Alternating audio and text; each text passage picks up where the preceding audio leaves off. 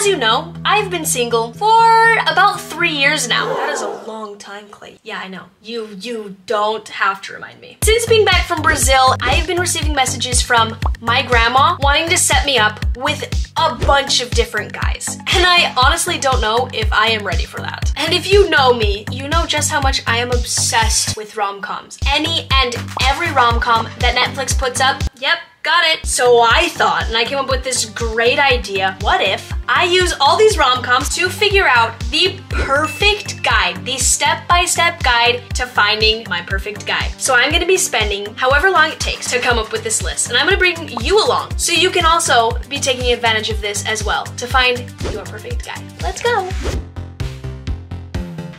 So I've been thinking and pondering about what the steps will be to creating this list of a perfect guy. Step one, make a list of the green flags from the guys that win at the end. Step number two, why did whatever guy didn't win not get the girl at the very end? Basically, what are his red flags? Step number three, what did the girls do wrong that I definitely don't want to replicate when I'm going on dates? And step number four, we'll just do this after.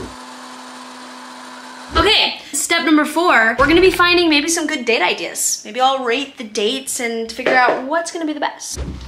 All right, we have got everything.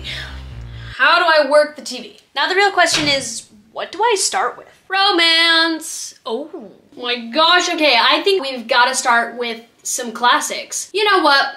I just saw this one. We're gonna start off with The Proposal. This is gonna be good. Oh, it's gonna be them. It's gonna be those two. Oh my gosh. Is it gonna tell? Hmm.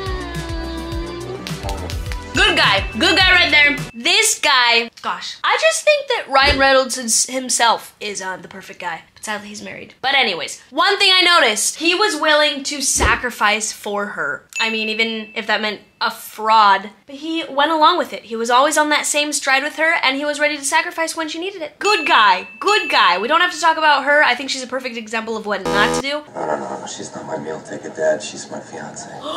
What'd you say? He's standing up for her!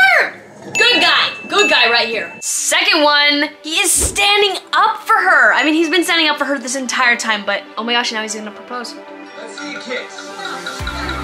Oh my gosh, they want them to kiss and they're not even together. Kiss her. Kiss her.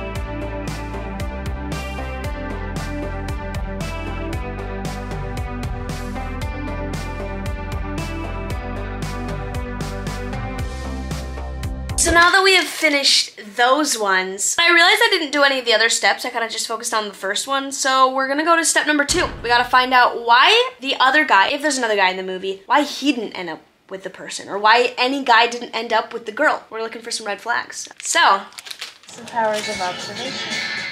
this one is so good. We're only at the beginning and I love it. Okay, can we just talk about her? She is literally just iconic. She's the perfect example of somebody being authentic. Okay, now don't get me wrong. Obviously, she does have attitude and she's got a little bit of uh, problems for maybe uh, doing that. But she's iconic and she is her. And I strive to be like her. That helps us with step number three, actually. Iconic moments. And the sisters even came to watch. Who's intriguing? Now, there's a way Y'all, literally, I have got so many notes going for her. This is some quality stuff. This is some some quality information that I am getting. I mean, come on. Oh my gosh, but this one, this one fits perfectly in to number two because there are two different guys in the situation. We've got Cameron, I think is his name, and then we've got the greaser dude. Two guys, and wait, iconic move, iconic move right here. But him, he's 100% not gonna get the girl. Not at all. And we're gonna find out why. All right, but can we talk about this? Please tell me that there are like the certain types of guys and like you automatically can kind of connect it with a certain letter name. Go away. Get out of here. Like the guy, the the greaser dude, literally he looks like a Jesse or something like that, you know? Like the greaser, the slick back, kind of, I don't know what rude word to say, but you get what I'm saying? I want you to put in the comments for like the greaser style dudes, what initial best fits with them. I'm going for Jay. Jay is more for that er, kind of guy, you know? Like Jesse from Gilmore Girls. And then like Cameron, Cam Cameron It's more of the softy, more of the like kind of nerdy in the background types of guys. Please tell me it's not just me. I need you to comment that. Boo! See? See what I mean? He's not even interested in her, y'all. Cringy. So now we know what not to do. Now we know why the guys don't end up with the girl at the end. Kind of obvious. So cute. That is goals. Y'all, literally, I want a guy that will just help me and just love me like this. Another green flag. We got another green flag. Stop, I want it. He's so good, he's so good. Boo! We don't like him. Yeah! Go for it, you got this, dude! Good one always wins. The good one always wins. You know, just because you're beautiful, that doesn't mean you can treat people like they don't matter. There you go, dude. That is, that is, I mean, yes. Okay, okay, okay.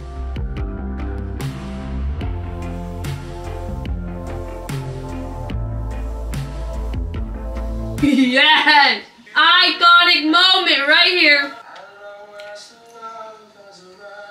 If a guy isn't willing enough to do something That's like this you? for me, I don't want it. Look at that! Got the entire band! Look at that guy! Look at her, her, look at him. Amen. This guy has just brought himself all the way up to the top, the top tier. He is our number one now. Ryan Reynolds, I'm sorry. Heath Ledger, yes, please. Iconic. See? This is what I'm talking about. This is literally what I'm talking about. They're slowly starting to connect with each other. It's so cute.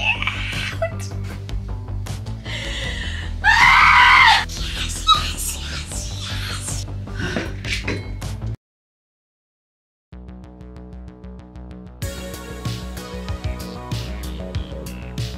risked it all for a girl. I know, right? A thousand freaking bucks for a girl that like doesn't even like you. There's another one. There's another green flag. it's so weird. He's so embarrassing. Right, so it's currently very late. It's 11:56, so not that late, but for me it's very late. I mean, you can probably tell. This camera is doing me all sorts of wonders because it is smoothing out my face. That is exactly what you'd be seeing. I'm just so tired. But I'm not giving up. I have to continue. I have to focus. We are in this to figure out this perfect guy. I'm doing it for the team. All right, guys. I have to whisper because Rykel's still sleeping up there. Okay, I'm sorry, but I adore this movie. Like, I've seen it five times at least in the last two months, and we're watching it again just because I. Ugh, it's so perfect. You can literally tell just by my face how much I love this. I'm literally like.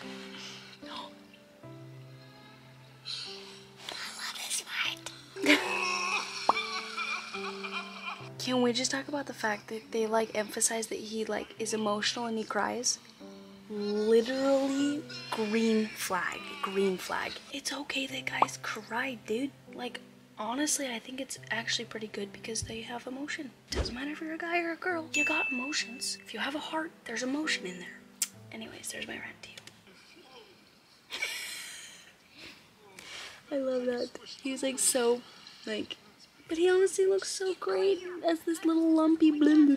Love this dude. Love this dude so much. Gosh, I just love. I love the fact that they like have these conversations. Have conversations. Get to know each other. If you want this to work, to be like a partnership, you gotta communicate. We're adding that to the list.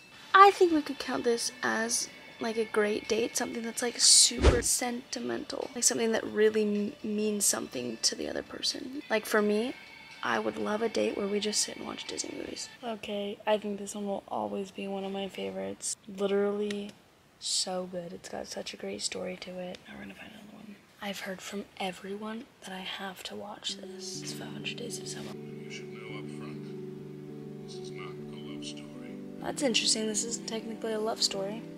But they told me it was a rom com, like rom drama. I'm getting tired, but this is actually really good. I don't really understand because they said it's all a love story, but we're getting to the romance. Yeah, they were right when they said this wasn't exactly a love story. It is, but it isn't. They're like just friends with benefits. I'm like, when's the like good relationship stuff gonna come on? I mean, this girl's definitely showing us what not to do. Because, I mean, it kind of seems like she's just got a little bit of like, attachment issues or commitment issues. Hashtag me, literally right now. I have a very hard time, like, actually making commitment. But this is helping me. All of these are helping me, so I'm excited for the end.